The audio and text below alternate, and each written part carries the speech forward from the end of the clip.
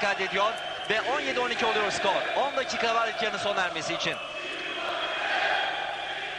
Bursa'da oynanan ilk karşılaşmayı 85-74 kazanmıştı Fenerbahçe ve durumu 1-1 yapmıştı. Bu salondan galibiyetle ayrılan takım durumu 2-1 yapacak. Serdar uzun mesafeli atışı ve basket. Çok uzun mesafeli bir atış kullandı Serdar Apaydın. İşte izliyorsunuz. Serdar. Çemberin içinde dolaşan top basket oluyor. Ve skorda 17-15 oluyor. Fenerbahçe farkı 2 sayı indirdi. Bir maç. Zor atış kullanmak istedi Asım. Pot altında istediği gibi oynayamıyor bugün. Şimdi hücum bölgesinde Fenerbahçe. Serdar. Serdar yükleniyor. Basket kaybediyor. Skora denge geliyor. Fenerbahçe 17, Tofaş 17. İşte Serdar'ın kaydettiği basket. Önce 3 sayılık basket buldu. Ardından 2 sayılık basket.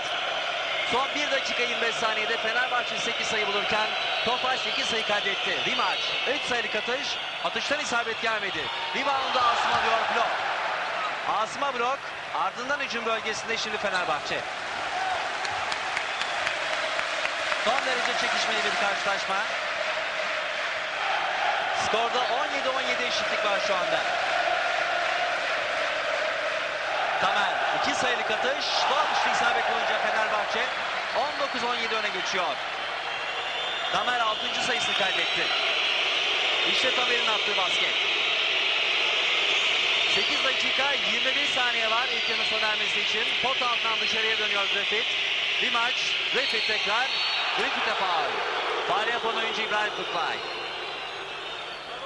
Bu arada bir an için duymadı. Yoğun tezahürattan düdüğü Serdar. İşte İbrahim biraz önce faal yaptığı pozisyonda. Pot altında son derece etkili bir oyuncu Raşat Griffith. Basketi kaydediyor.